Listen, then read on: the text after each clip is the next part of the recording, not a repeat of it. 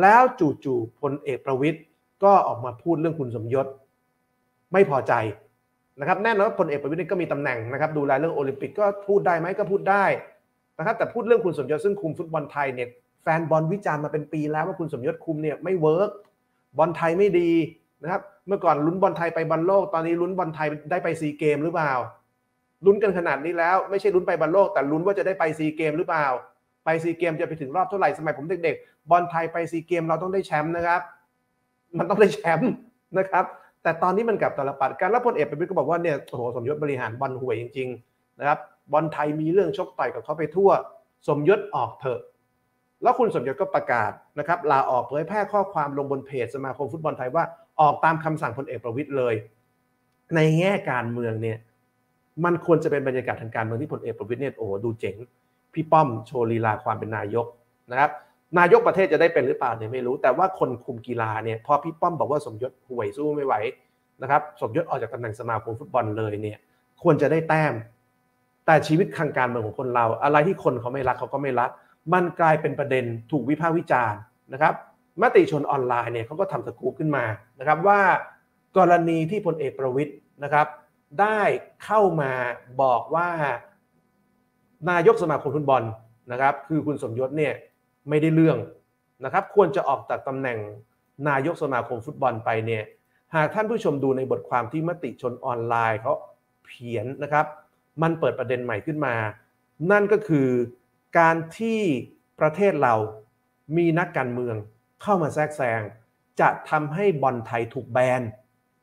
พลเอกประวิทย์ซึ่งคิดว่าตัวเองน่าจะได้แต้มนะครับ จากการเอาคุณสมยศออกซึ่งแน่นอนว่าผมผมดูปฏิกิริยาแฟนบอลในเชียร์หมดเลยนะ ดีใจที่คุณสมยศออกส่วนใหญ่บอกว่าออกช้าไป แต่กลายเป็นว่าแทนที่พลเอกประวิทย์ซึ่งเป็นคนซึ่งสั่งจนพลสมยศต้องออกนะครับ จะได้แต้มกับกลายเป็นว่าไม่ใช่นะครับ คนที่รู้เรื่องฟุตบอลนะครับมาติชนออนไลน์เขาบอกเลยว่าว่าเอกระบวนการทำแบบนี้เนี่ยนะมันเป็นการแทรกแซงแล้วประเทศที่มันมีการแทรกแซงสมาคมฟุตบอลเนี่ยส่วนใหญ่บอลเนี่ยถูกแบนนะนะครับอย่างเช่นอิรักโดนแบน เพราะรัฐบาลอิรักประยุทธ์คณะกรรมการโอลิมปิกแห่งชาตินะครับ ปี 2014 ไนจีเรียโดนแบน เพราะมีการแต่งตั้งคนในรัฐบาลมาบริหารสหพันธ์ฟุตบอลแทน ก่อนเลิกแบนใน 1 เดือน อินโดนีเซียโดนแบนปี 2015 นะครับ เพราะสมาคมรัฐบาลยกเลิกสมาคมฟุตบอล แล้วก็ตั้งสมาคมฟุตบอลใหม่ขึ้นมา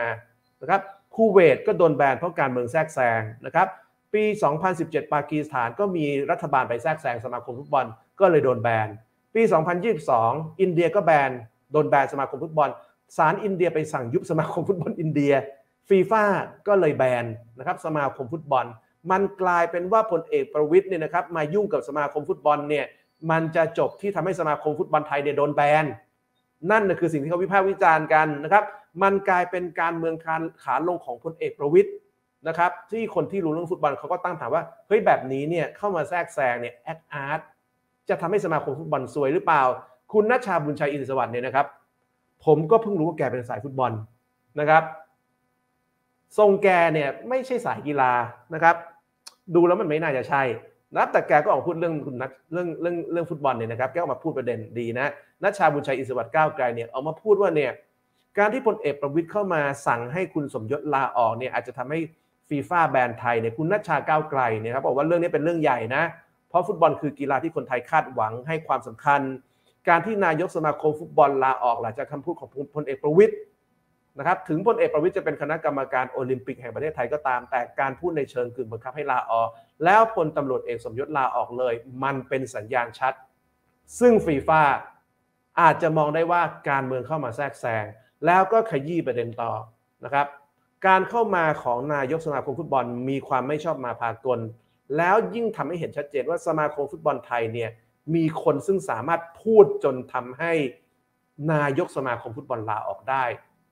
มันคือความผิดปกตินะครับ ประชาชนในกดดันให้คุณสมยศลาออกมาตั้งนาน แต่คุณสมยศไม่เคยออก เรียกร้องมาเป็นปี คุณสมยศดึงดันอยู่ตลอดนะครับฟอร์มการเล่นไม่ชัดเจน คุณสมยศไม่เคยแสดงสปิริตแต่พอพลเอกประวิทย์พูดปุ๊บลาออกทันที มันสะท้อนถึงอะไร มันผิดปกติหรือเปล่า แล้วถ้าฟีฟ่าแบนฟุตบอลไทยจริง ไทยจะสูญเสียโอกาสในการแข่งฟุตบอลรอบคัดเลือกสูญเสียโอกาสในการแข่งทัวร์นาเมนต์ใหญ่ๆ สิ่งที่สูญเสียมันหายไปหมดนะครับ ต้องดูต่อไปว่ากระบวนการต่างๆ มันมีความโปร่งใสหรือไม่นะครับพลเอกประวิทย์จะต้องอธิบายเรื่องแบบนี้ และต่อไปนี้เนี่ยพลเอกประวิทย์จะไม่จะต้องไม่เข้ามายุ่งกับสมาคมฟุตบอลแห่งประเทศไทยอีกเลย อันนี้ก็คืออีกมุมหนึ่งที่กังวลกันว่า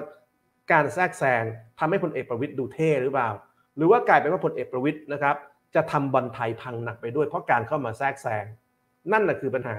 ทหารมายุ่งเรื่องการเมือง เข้าใจว่าการเคาะให้คนนั้นออกคนนี้ออกเป็นเรื่องปกติ แต่ดูแล้วมันน่าจะเป็นชนวนของการสร้างปัญหามากกว่าเพราะฉะนั้นพลเอกประวิทย์เนี่ยนะครับจะเป็นนายกไหวหรือเปล่าไม่รู้ แต่เอาเป็นว่าแค่มายุ่งกับเรื่องสมาคมฟุตบอลเนี่ยนะครับพยายามจะ action พยายามจะทำนู่นทำนี่เนี่ย